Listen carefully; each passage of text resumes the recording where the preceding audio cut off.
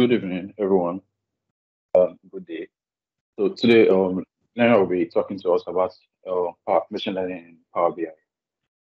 So, um, let, so machine learning is a branch in artificial, artificial intelligence and computer science, which focus on the use of data algorithms to imitate the way humans learn and to gradually also improve accuracy. So today, um, Leon will, will talk to us about how we can use this to solve to make data-driven data-driven um, decisions within our apps and within our businesses. How we use this also to automate predict models in Power BI using Python. So, Leon, you can take the stage. Fantastic. Thank you very much for that great introduction. And hello to everybody um, within the user group. It's a pleasure for me to be here with you.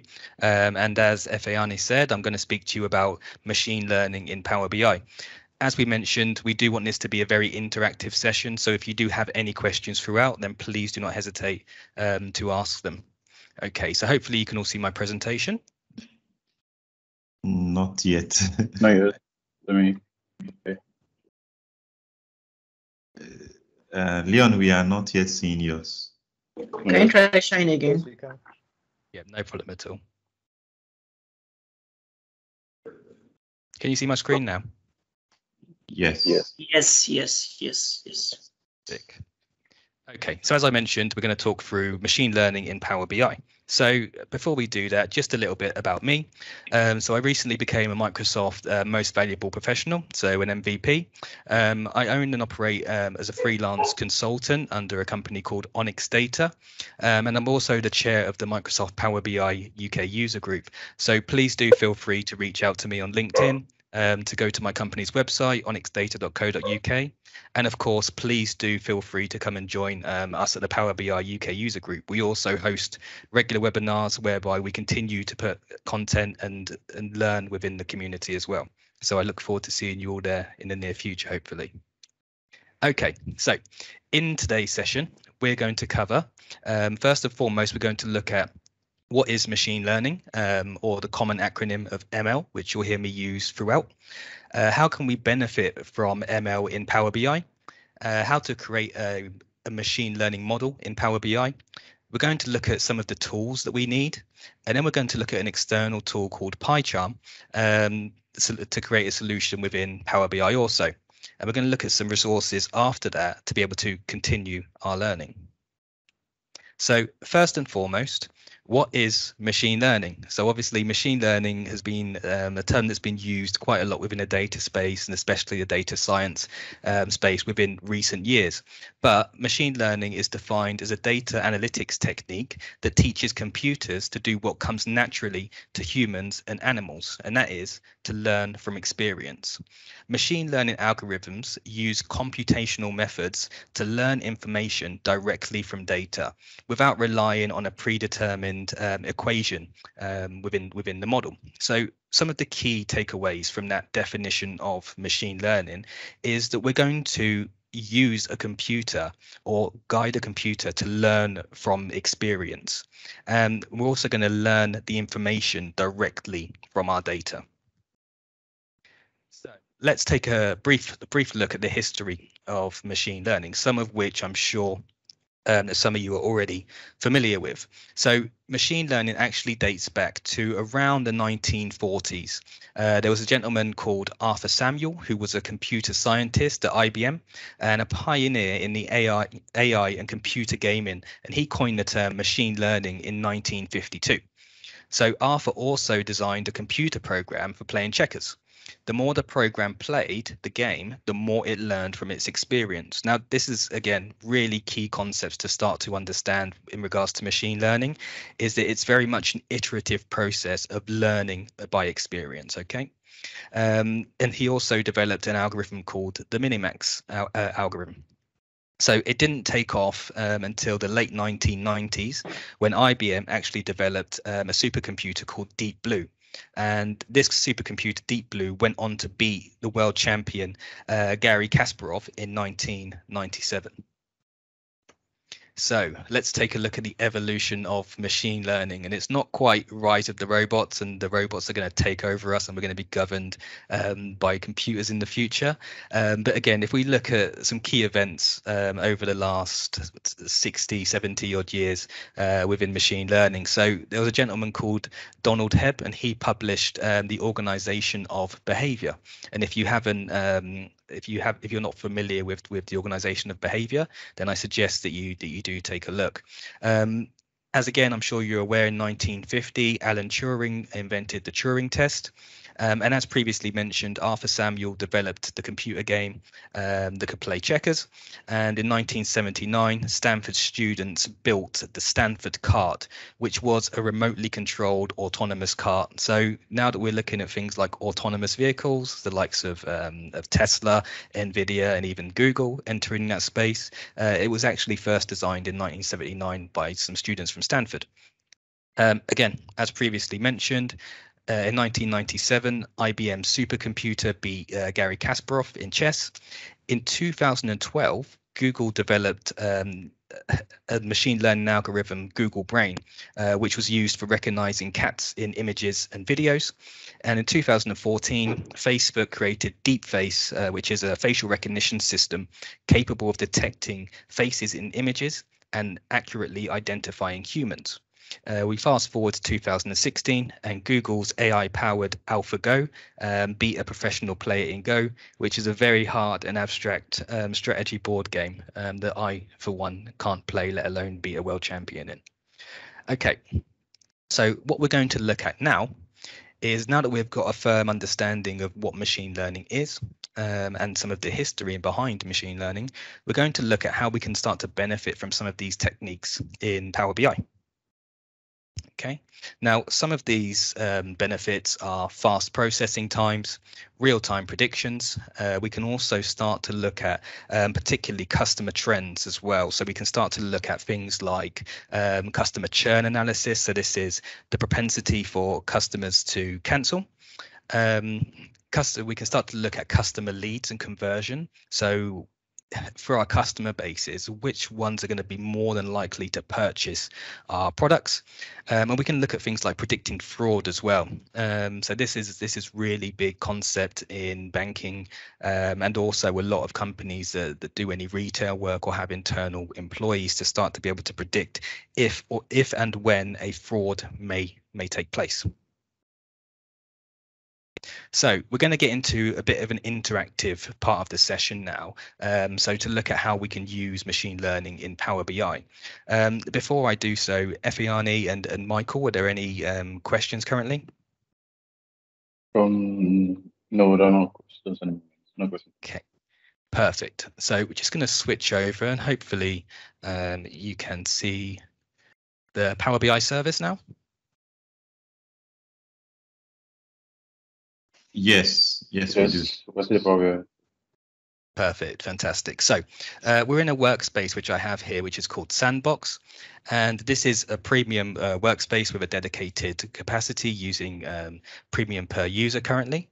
And what we're going to do is we're going to look first and foremost at how to make an automated uh, machine learning model um, within, within Power BI uh, service.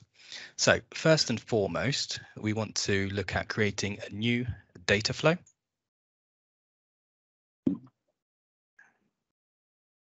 Okay. And just bear with this a moment while it just loads up. Hopefully my um, my broadband stands up.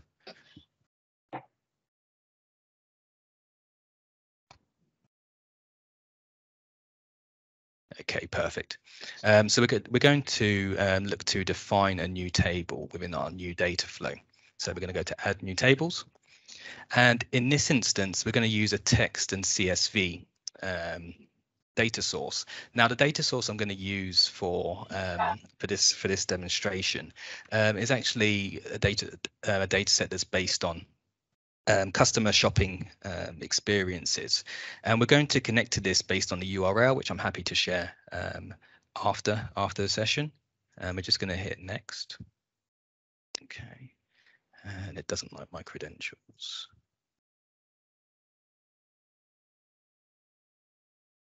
Okay, we may need to refresh. The Power BI service has been playing up a little bit today from on my end. I don't know if it has been the same for anybody else. In the fact that it won't refresh at the moment also. So right, refresh. We'll go back to our workspace. If not, I do actually have a version of this prepared, but it'll be nice to work through actually on the fly as well. So we try that again, sandbox. We'll have a new data flow.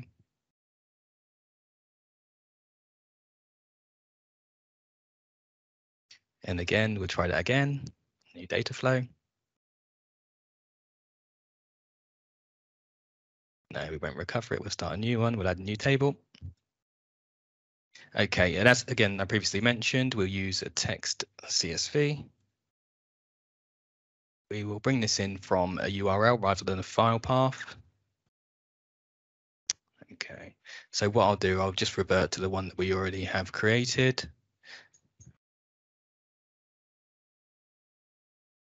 Because we shouldn't do any authentication here.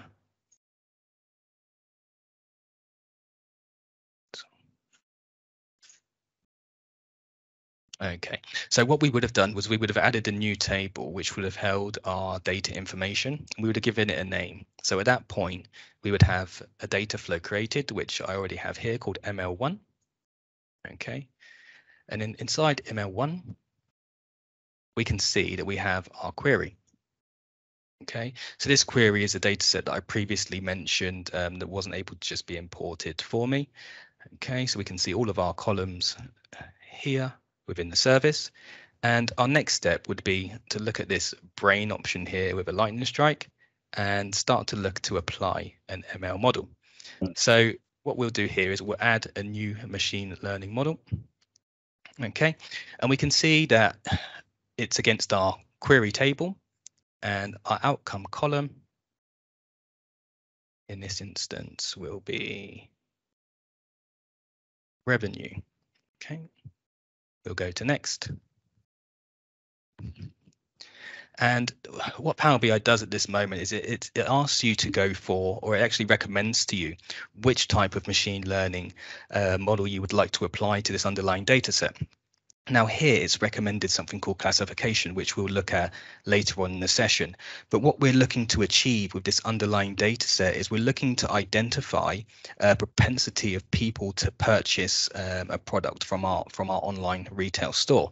So with this being the case, the type of class, the type of um, model that we, we want to apply by going to select a different model is a binary prediction. Okay, it mentions here a binary prediction is used to determine the likelihood of a sales lead converting or the probability of a customer responding to a campaign. So this is absolutely perfect for what we're trying to achieve here. So we'll just select this.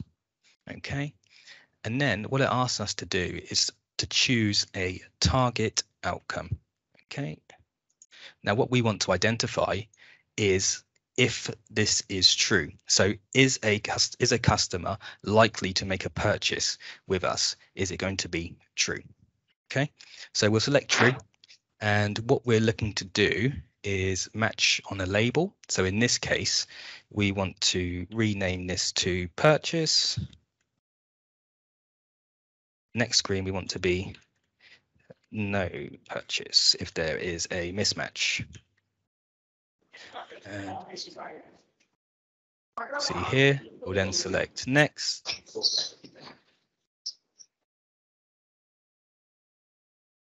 Okay, now what Power BI in a service does is it gives us a list of um, the columns that are available within within our data set. So what we want to do is select the data within our model that we would like to study. So Power BI, um, based on um, a sample of the data, selected the columns that it feels that we should use. Um, but what we're, what we're actually going to do is choose our own column. So we're going to deselect everything, and we're going to use a column called administrative administrative duration, informational duration, and we're also going to look at um, I believe it's product related um, duration we actually want information as opposed to information duration. Okay, so we've got our three columns that we are going to feed into um, our Power BI machine learning model to determine if a customer is likely to have made a purchase or to not make a purchase. We're going to go to next. Okay, uh, we can give our model a model name here, so I'm just going to call it um, customer purchase for this demo. Um, we're going to look at the training time. So in this example, um, you can train your model for, for any time up to 360 minutes um, or anything down to um, one minute. But we're going to use five minutes for this. And then Power BI will tell you what it will do next, okay?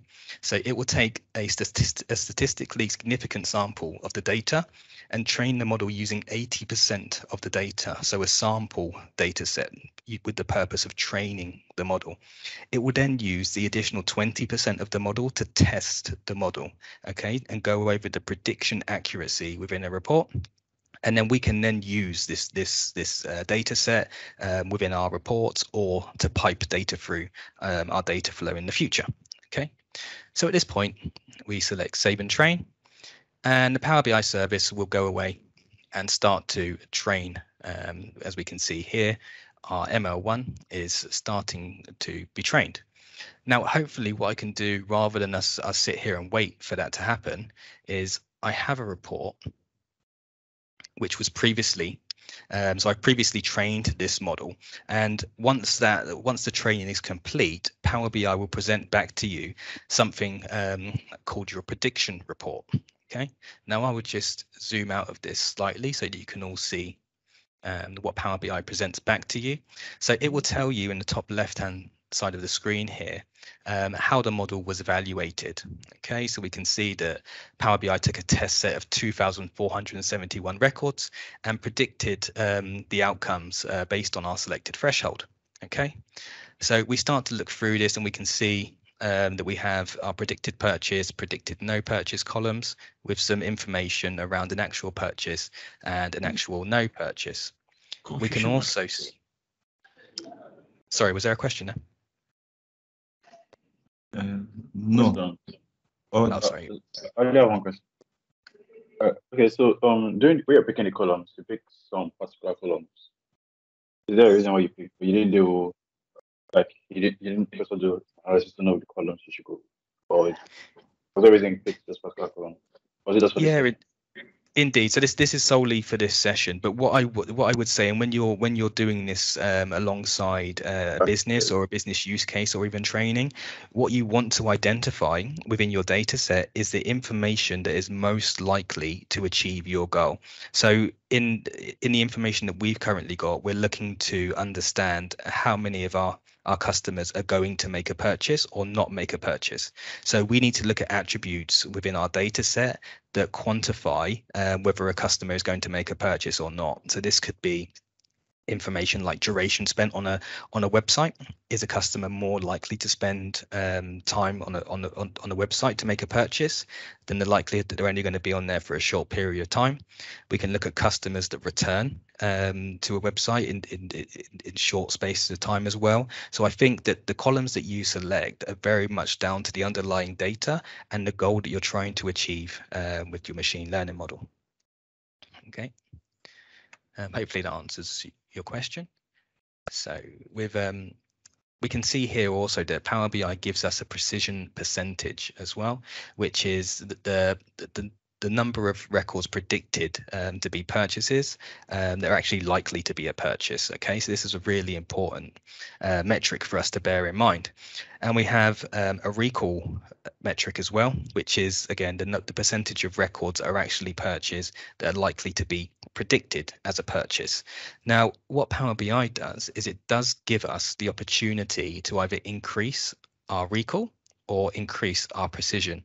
Now, again, you can move this backwards and forwards depending on what you're looking to achieve, either a higher increase um, of precision in terms of uh, records that are records that are predicted to be purchases um, against actually being purchases or the increase of recall. So I would say you need to adjust this and, and spend some time to tune this um, based on, again, your data needs. And at this point, you can also go through and see some, some, some accuracy um, some accuracy reports, and also uh, some training details. So this will give you a bit more insight into what Power BI actually did in the background um, within the model to train um, to train the data set. Okay. So with that being the case, um, at this moment in time, we have a, uh, a data set which has been trained and we can hopefully go back and see this if if Power BI is um, is playing well with me today. Um, by going to our data flow, it, I'm hoping it lets us even though it's still currently refreshing. We have um, an additional table created here which is, um, sorry, our query enriched purchase intent prediction. Okay. Now within here, we can see that we have some additional columns um, on top of our underlying data. So we can start to look at an explanation index, um, a prediction, the actual outcome, the prediction score, the explanation, the result. Um, and it will do this based on, again, the, the output of your machine learning model. Now, at this point, once you have a refreshed data set um, and you've applied your machine learning, this information um, can be ingested into a Power BI report and presented just the same as any other um, information or as with um, as as uh, which is the case with with data flows you can set this up so that it can be an automated process. So once this is actually applied to your data flow um, power bi will continually um, run predictions against the underlying data set every time you refresh a data flow so if you can imagine you have more information being ingested into um, your Power BI data flow, this prediction model will just recur every time it's refreshed um, with any new data um, that's added, but also with existing data as well. So quite powerful straight out of the box. And as I mentioned, I'll just do a quick connection to, um, let's do a new, um, a new file briefly and we will connect to uh, the data flow, which hopefully again, as it's as it's refreshing, I'm hoping the information will be cached and it will allow us to see um, some of these new columns as well. Uh, just while this loads, are there are there any further questions at this point? So I don't know. Yeah, I have some questions. Okay, so three questions, uh, Leon, and um, one is I noticed you used the premium per user, like the, you used the workspace that seemed to already be assigned a premium, uh, a premium license. Let me use that word. Can can this work in a normal pro license workspace? No, so with with this with this technology, uh, you need to use a dedicated capacity, which is only available in either a premium, um, a premium workspace or a premium per user license. Okay, what I will go on to show you later on in the session um, is a method of applying uh, machine learning, which doesn't rely um, on a um, on a on, on a premium uh, capacity or a premium per user uh, license.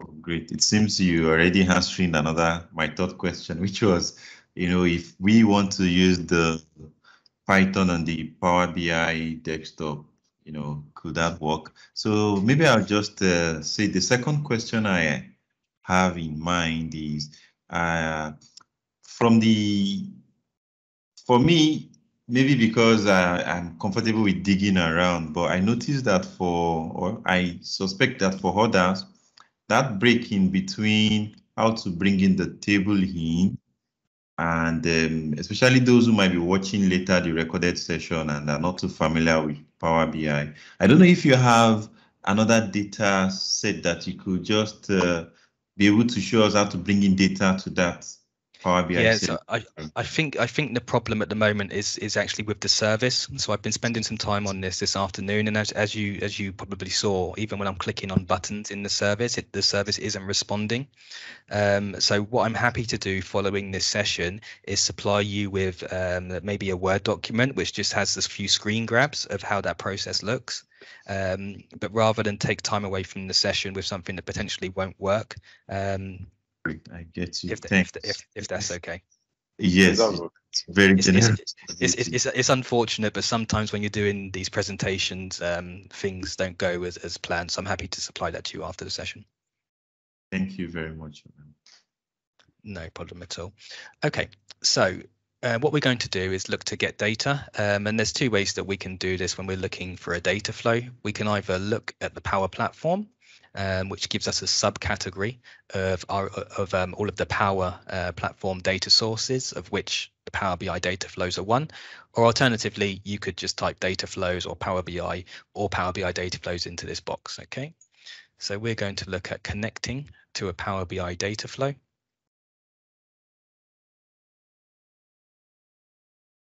Okay, uh, so what this does, it automatically looks at my sandbox workspace, which is the workspace that we've just been um, applying this model to. Um, we can look at the ML1 data flow.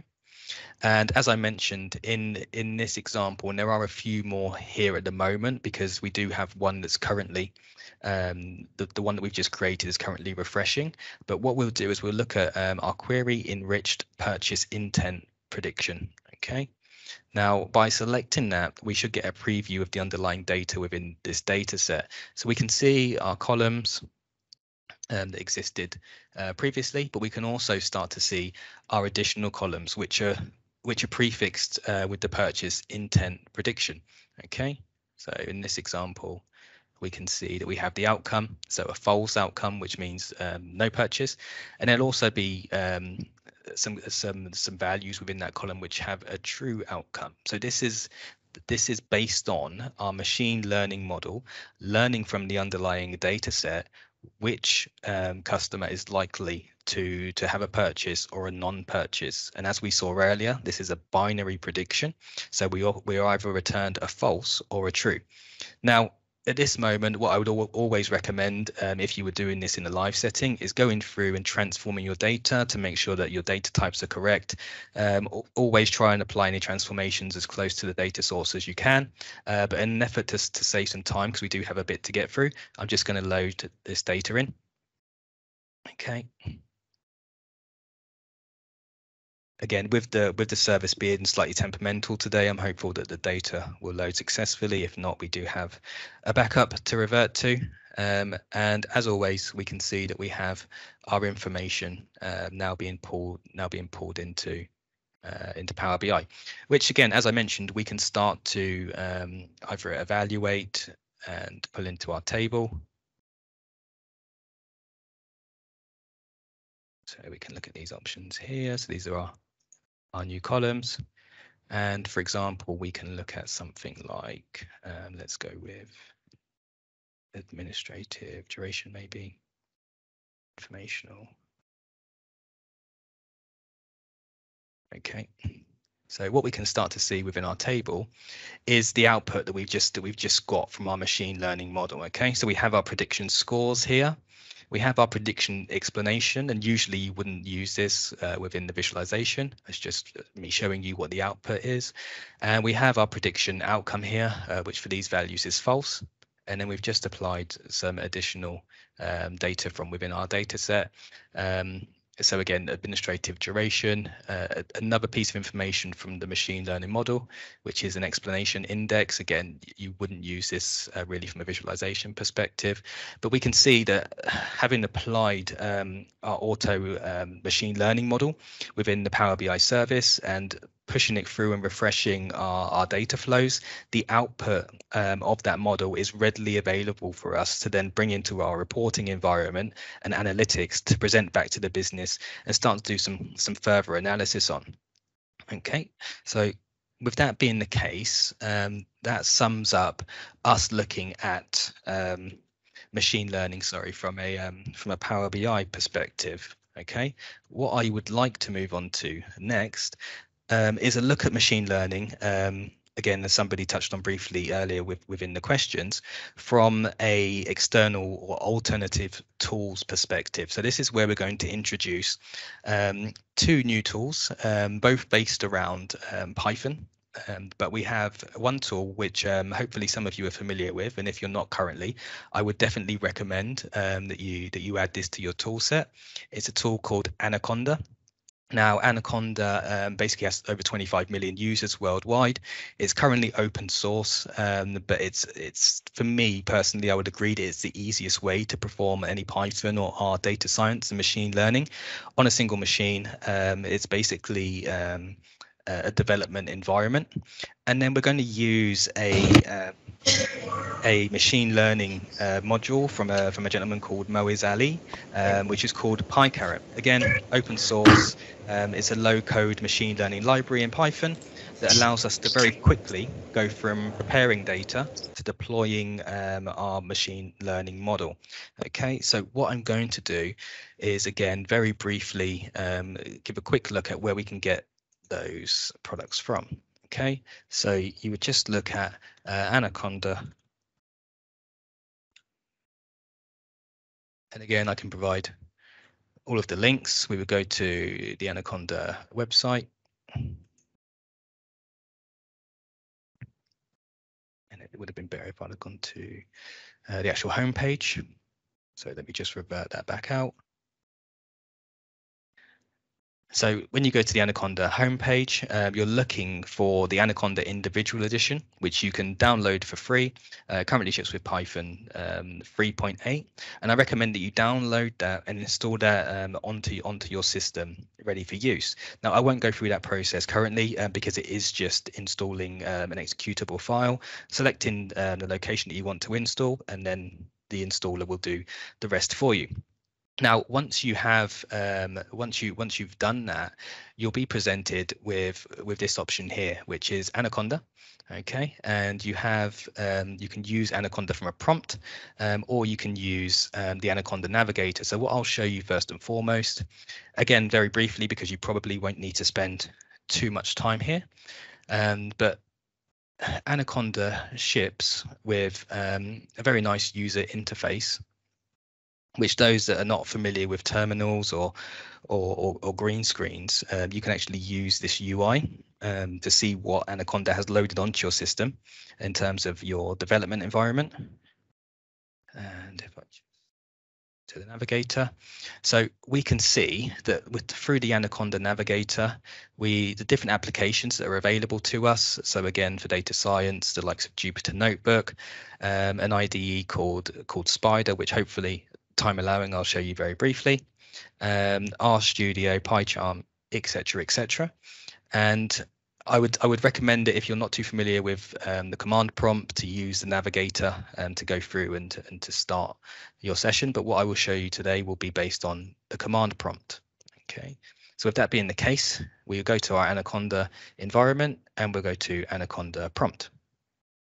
Okay, so this gives us um, a green screen whereby we're currently in an environment which is called is, which is called base. Now, what you can do if you want to have multiple environments on your local machine is you can type um, activate, and in this case, um, you can we can put in our environment name, which potentially could be data science. Now, once you hit enter on this command, you'll notice that you're now in a new environment, which is called data science. Now, imagine this as, like I say, a, a, new a new environment or a new folder within your system, whereby you're going to load your um, your modules um, up with the likes of um, PyCaret. Okay, so as we said before, PyCaret is an open source library uh, which is freely available to be used um, for for machine learning within a Python environment. So to do this, we use very familiar commands, which is pip install um, PyCaret, and we hit enter. Now I believe this is already installed on this machine. So it will go through and say that all of the um, requirements are already satisfied. But on a machine where PyCaret isn't currently installed, that might take a few moments of time. So just be aware of that. Now, once this has completed, in this in this new environment, we have PyCaret installed. So you notice there we had a couple of steps. One to create a new environment, and then we loaded PyCaret, um, which is our open source library that we're going to use for machine learning in Power BI into that environment. Now, as far as the green screen uh, or, or, the terminal um, or command prompt is uh, is used here, we're done with it for now. We can go back over to uh, Power BI, and what I will do in this example is probably create um, a new Power BI. Uh, Actually, let's go to options and settings first. Okay, so let's go back into Power BI. We're going to go to options and settings. Um, in this environment, we're going to go to options and we're going to make sure that Power BI is ready to run Python scripts. Okay, so in our global settings on the left hand side here, we have an option which is Python scripting.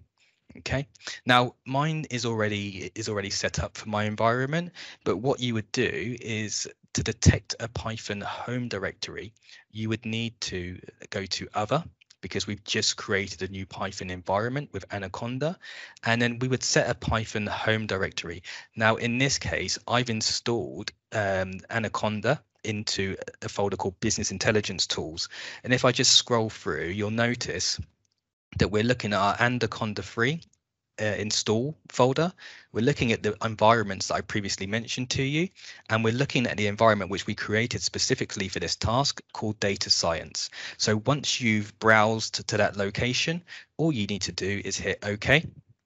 And Power BI at that point is now set up for you to start working with Python and particularly PyCaret within Power BI. So what we want to do is get a new file, a new Power BI file.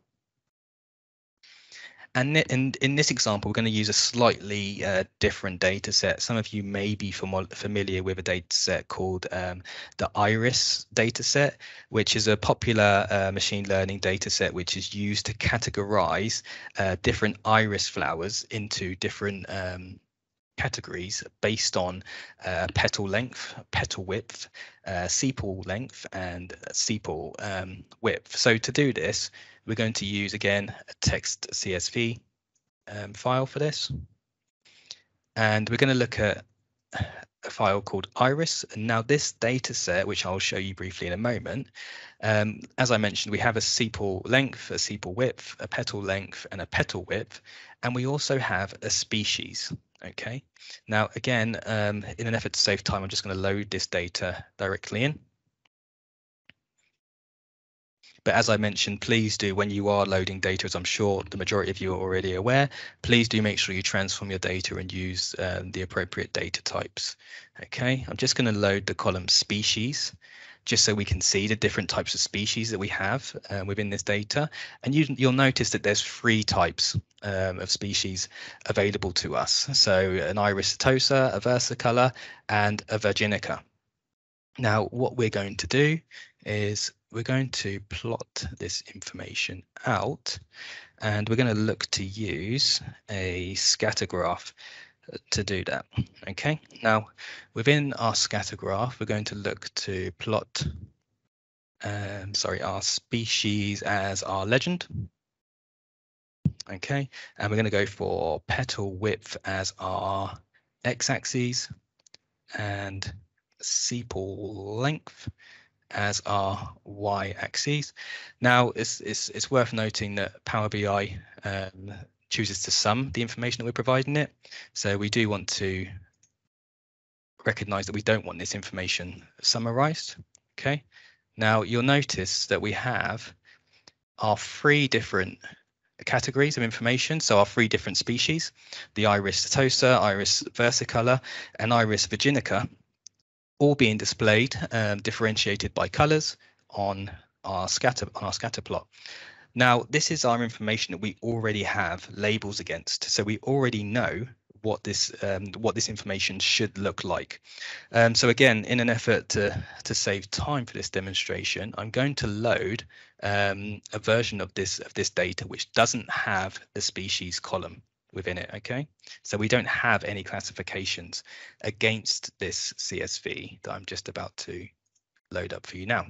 So this is uh, very cleverly named iris no label. Okay, and we'll open this data set. And again, as I mentioned, we'll notice that we have the same information. So sepal length, sepal width, petal length, petal width, but we don't, we no longer have a species column. Okay, so we're going to load up this information.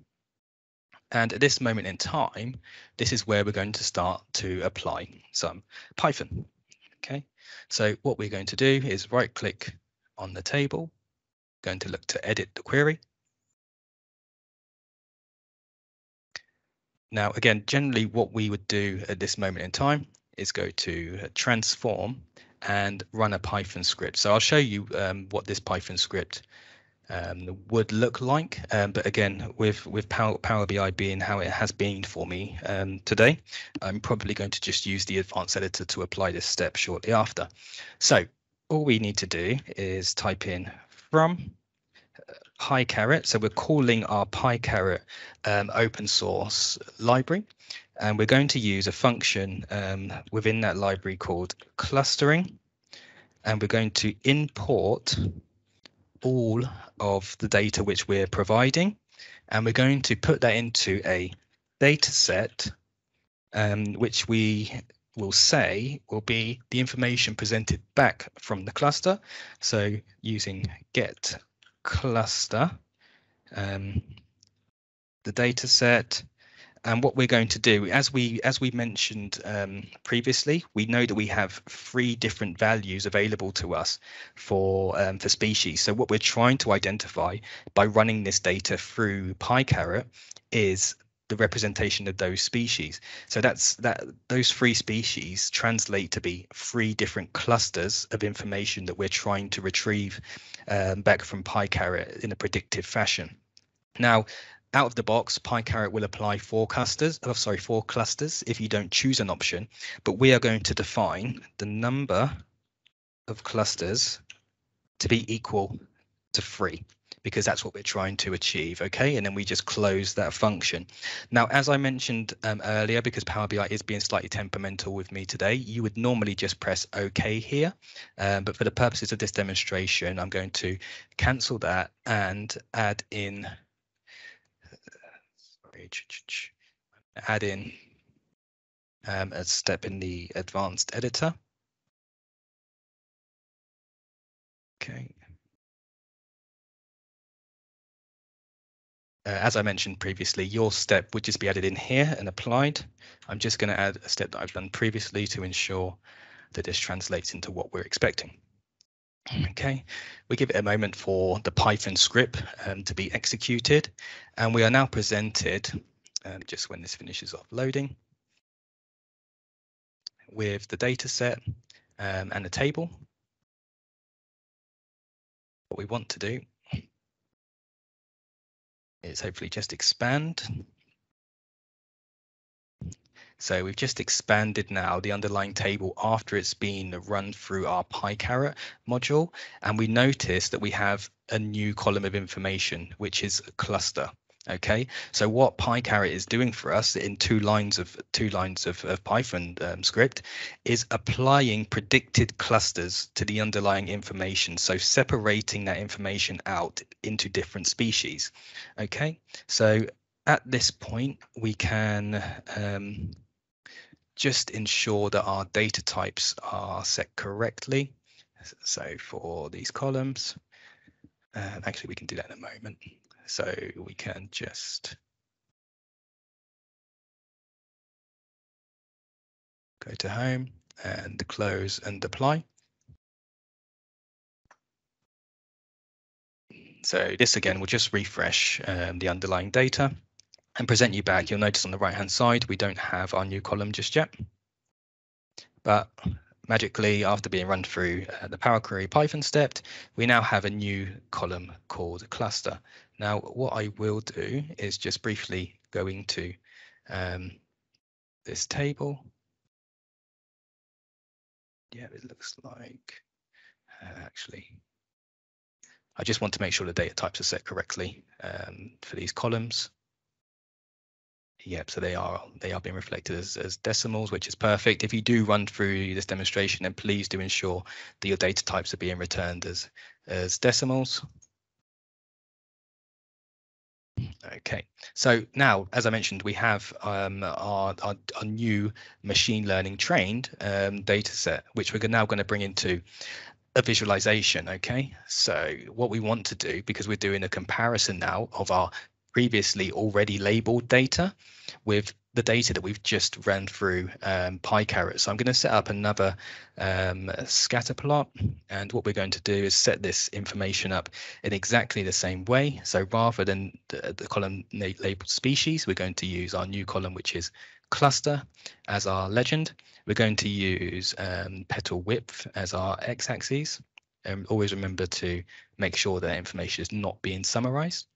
And we're going to go in and use our sepal length as our y-axis.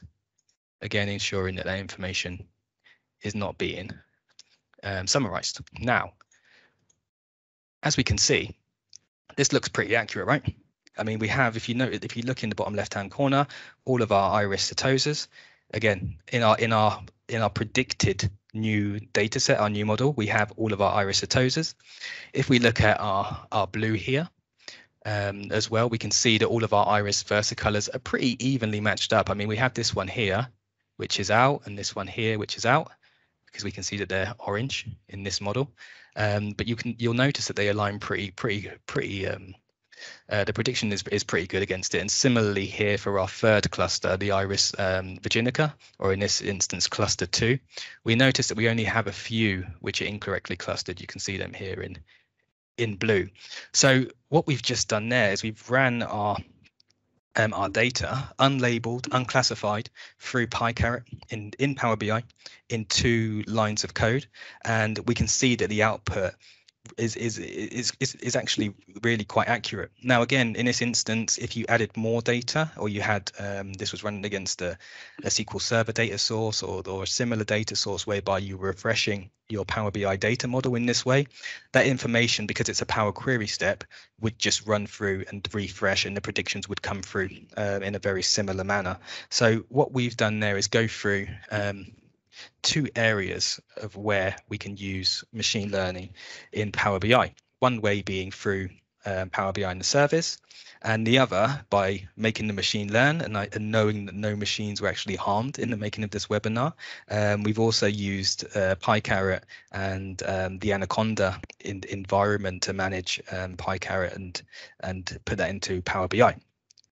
Now, what I'll leave you with is that you can take this further. So you, you're now um, this is very much an introduction to two concepts of machine learning within within Power BI.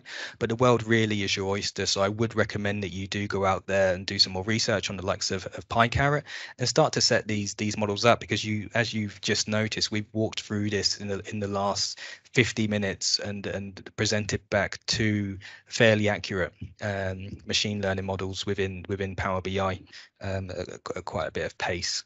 Uh, as I mentioned previously, um, I can share these resources um, with you all in the future. Um, do go over to Anaconda and install that on, on your system.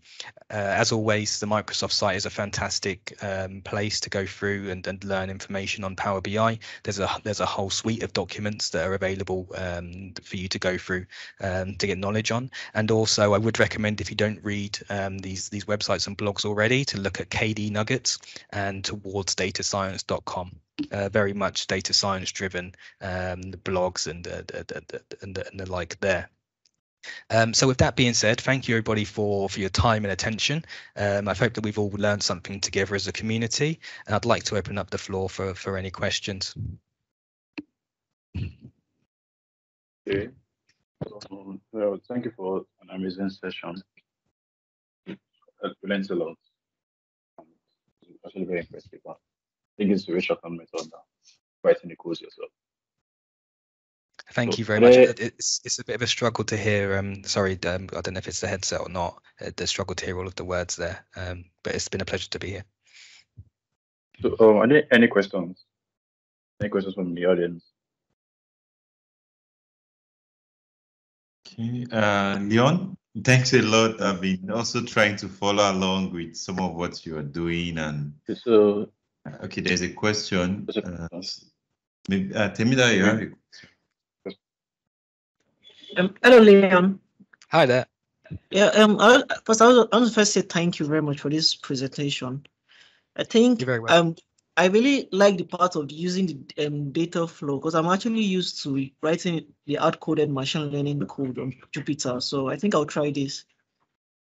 Yeah, oh, and- fantastic. yeah, we- yeah. Thanks, thanks a lot for this. Thanks a lot. No problem at all. Um, like I say, using using data flows, um, it's basically an ETL process with Power Query, um, which takes your data and it is stored under the hood on um, on an Azure data lake. So it's it's really a beneficial way of in, of introducing um, reusable machine learning because a data flow can be consumed across the whole business. Once it's in place, um, it's consumable by um, whoever whoever needs it as such. So very much a, a, a widely available and reusable data source that if you can apply your machine learning models um, into this environment can potentially be quite powerful. Oh, thanks. Yeah, thank you very much. Uh, what I was also trying to chip in, uh, like a bit of a request. Uh, so uh, I said I was really trying to follow along, and um, yeah, I understand that I can't catch up with your pace because uh, you know I look at the screen, I try to do some of what you've done, and you you know. So my request is is it possible for us to get like the presentation slide? I hope there is nothing too confidential that you can Uh, what- yeah, yeah. What I could, what I can do is um is I can send across uh, the slide pack. That's fine. Um, also, as this session's been recorded, then please do um, watch it back as well. Um, obviously, we have to move through this information at quite a lot of pace because of, we've only got an hour to cover quite a large and, and complex um, and complex topic. Um, but hopefully, as an introductory session, um, this should get you started on the, in the right lines to um, to using machine learning within Power BI. Great, great. Thanks a lot. And uh, any other questions from people in the house? I'm going to start calling names if, if no one is volunteering. yeah, Question, yeah. Yes, sir. Your Okay, question. uh, uh, my question is, after building your model, how do you use it in the to, in the organization? How do you implement the model that you have built? Yeah, so I think there's I think there's two ways to look at this. One is um, what do we want to achieve by implementing this model? So if you're going down the route of self-service analytics, so this is whereby you're giving the data to users to make their own um, reports and analysis on, then something like either using the data flows or creating a data set, which obviously every time your data set is is refreshed, your your machine learning model will update the the, the relevant information. So even if it's old data or new data, because it's part of Power Query, it will still pass through um, it will then be translated into the, the, the predictive element of the machine learning model. So it just becomes available to the business in in the same way that your data sets are currently. So if you want to do this in self-serve and, and give it to the users, then as I mentioned, all of the columns that we viewed are available to be selected and brought into visualizations, um, the same as any other column. And if you're going to be doing or providing reports to the business on on on these predictions, then again you would just do the same thing in terms of um, bringing that information into a visualization um, and then presenting it back to the business. So it becomes available um, to the business in the same way that your existing data is. That's probably the best way to answer that. Okay, Okay. thank you. So I have one more question. Is there is there a a, a better way, a more automated way for you to using Power BI to get um the columns you should get? Because if you're writing the codes, there are some steps you can use. But is there a way you can do that in Power BI? Um, in what sense? What do you mean um, to automate the columns that you can get? Okay, so you have a list of columns. Let's say your organization, the data you put up have up to maybe 100 columns. You can't say you want to go through maybe each column, say maybe a way you could, machine could select the columns for you or tell you those that will give you the best or most results or something. Train your Uh, data. Not really, not not not currently. What you what you can do, and uh, if time's permitting, what what I can hopefully show you very very quickly is a way to profile your data in an automated way. It's outside of Power BI, um, but if you're happy, I can just show you briefly how that how that looks. All right. You can still see uh, my screen. Yes. Um, what I'm going to do is I'm going to return to the green screen that we had for for Anaconda, um, and I mentioned there's there's there's some other um, tools which get installed as part of Anaconda the Anaconda, Anaconda installation. One of those is a tool called Spyder, and you can launch it from within the command prompt in Anaconda by just typing Spyder. If I was in my base environment, so I'm just going to move back over to um, my base environment by typing activate base. Um, and you'll notice again that we're back in base and then we'll just launch Spyder. Now what this will do, it will launch um, a predefined, um, basically a development environment, particularly for um, for Python. Um, and within this, we're going to use a library called um, Pandas. So again, Pandas is an open source uh, data data science library, um, and there's a really strong component within within Pandas, which is a profiling tool. Now, once this loads in in just a moment, I'll just go through very briefly because I know that we're under a time constraint. What the output of um, of running some data through uh, pandas will look like. Hopefully, I still got this open, um, which I do. So again, hopefully you can all see my screen. Yes, again. Perfect. So you'll notice here that I've imported um, pandas and, and give it an alias. We're looking at um, actually the machine yeah. learning data that we just put through, and we're we're we're actually creating a profile report. Um, and then we're, we're we're exporting this profile um, to this environment um, based on the based on the information uh, so what I would just do is navigate over to to this environment. To to run this, you would just press um, F5 and it would generate a new file. But again, in in an effort to um, to run through in time, um, I would just navigate. Okay, we do have to do it because I've deleted the file since the last time I did this. So we just hit F5. Uh, data frame object has no Pandas.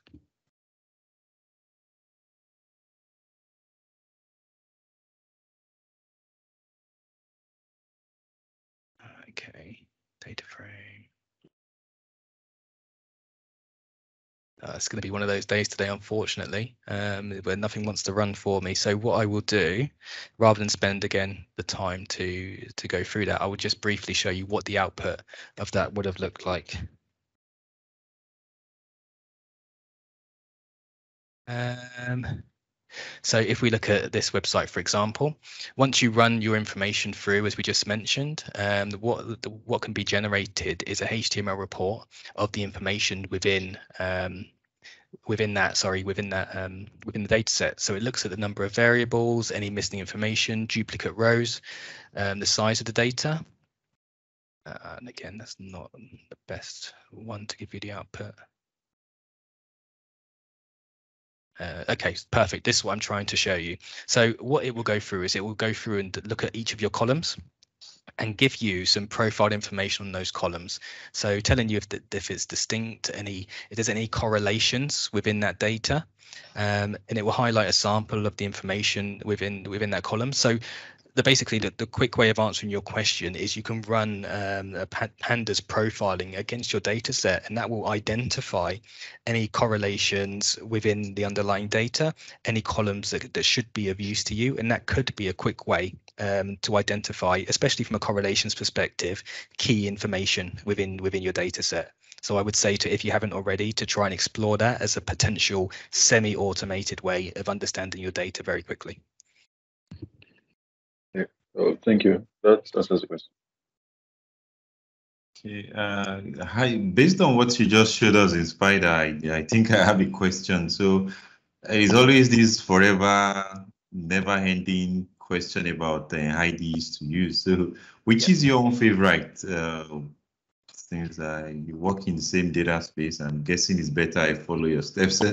so which is your favorite ID to use? Um, so for me at the moment, it is Spyder. Um, so I, I did previously use uh, PyCharm for quite a, for quite a while.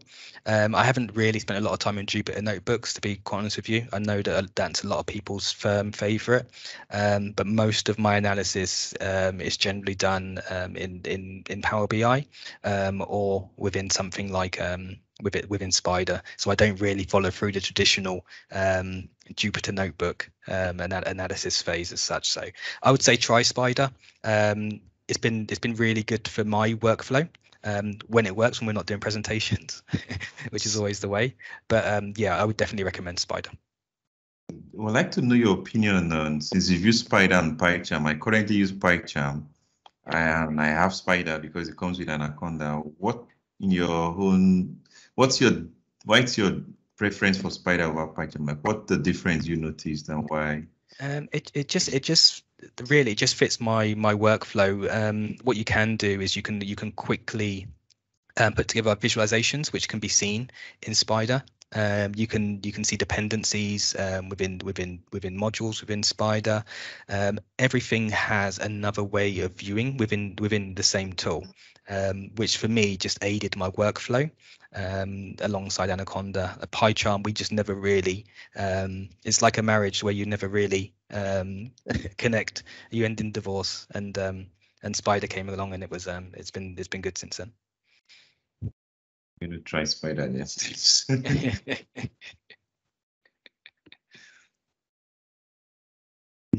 uh, if I any, what about the questions we normally ask?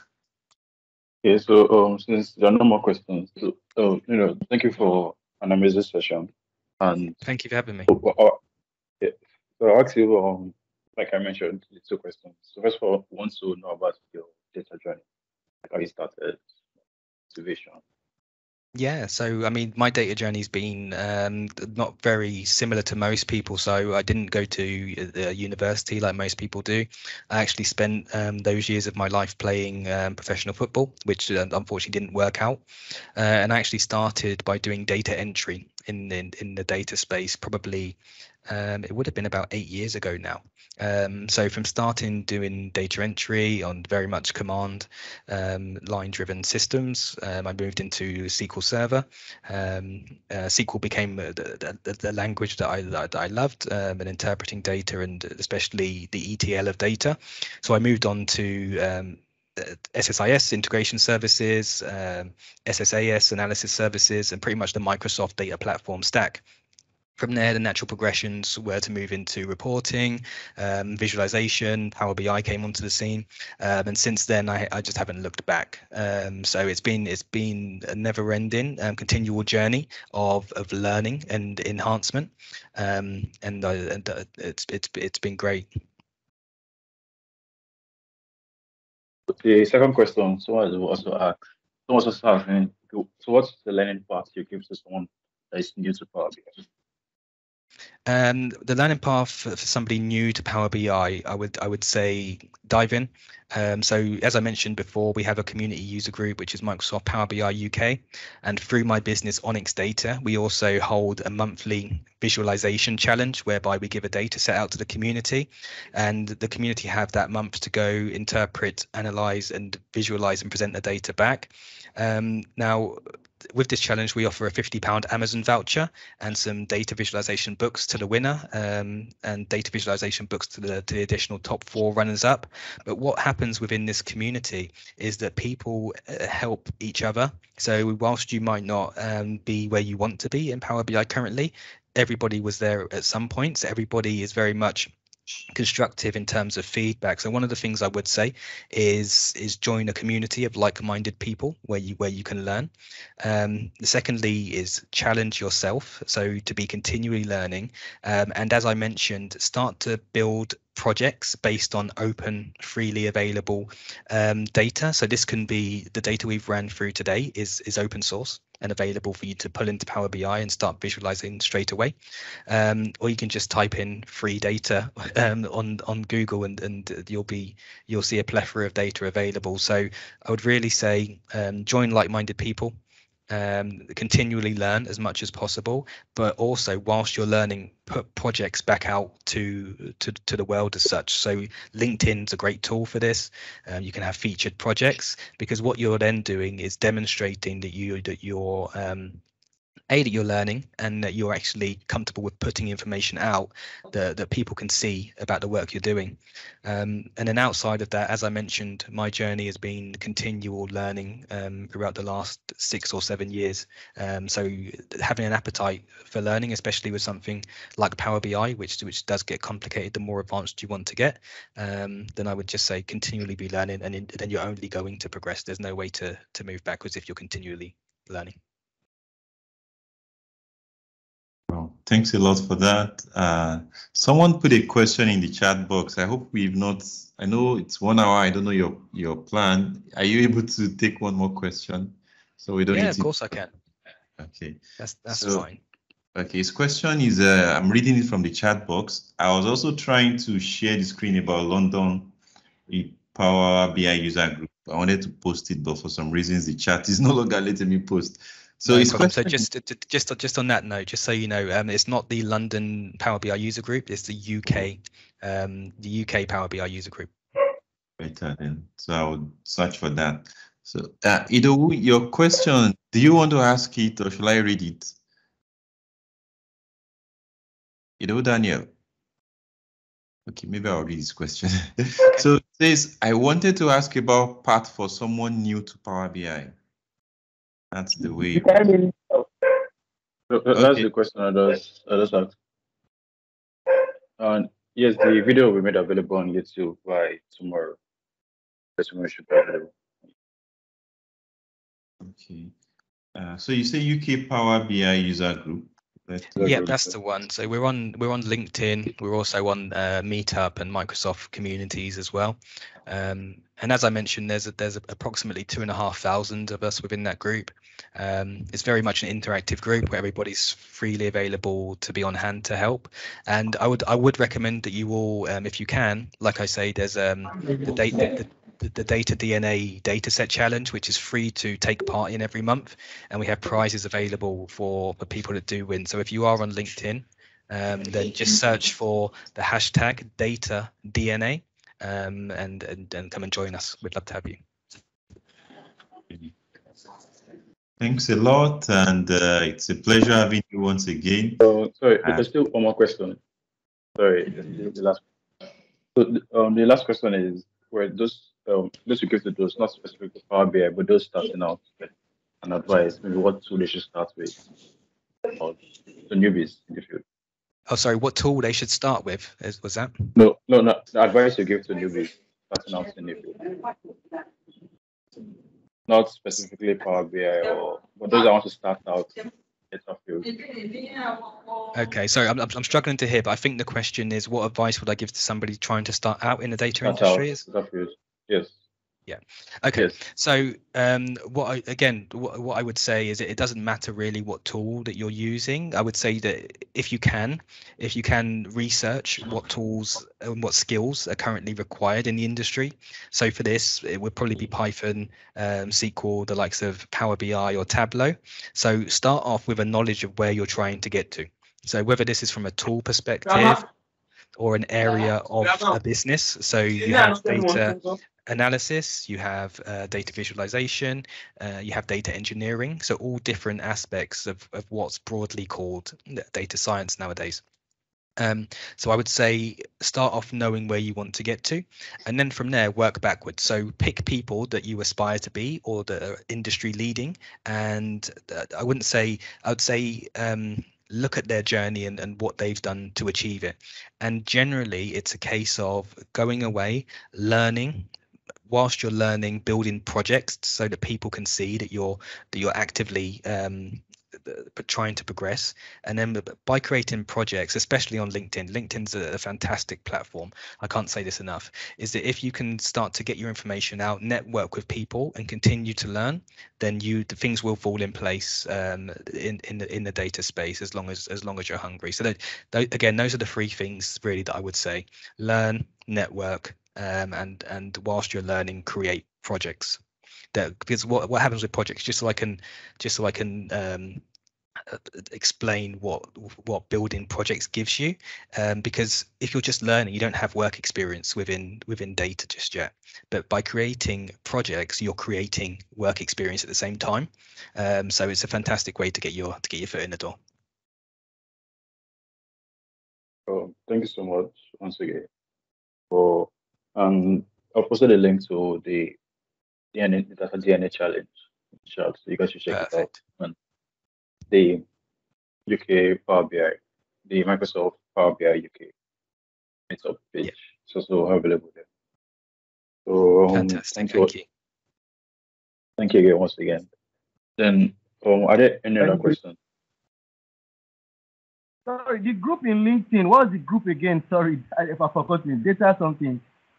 That's okay. So if you want to join the Oh. data DNA challenge, it's it's Okay. hashtag data DNA.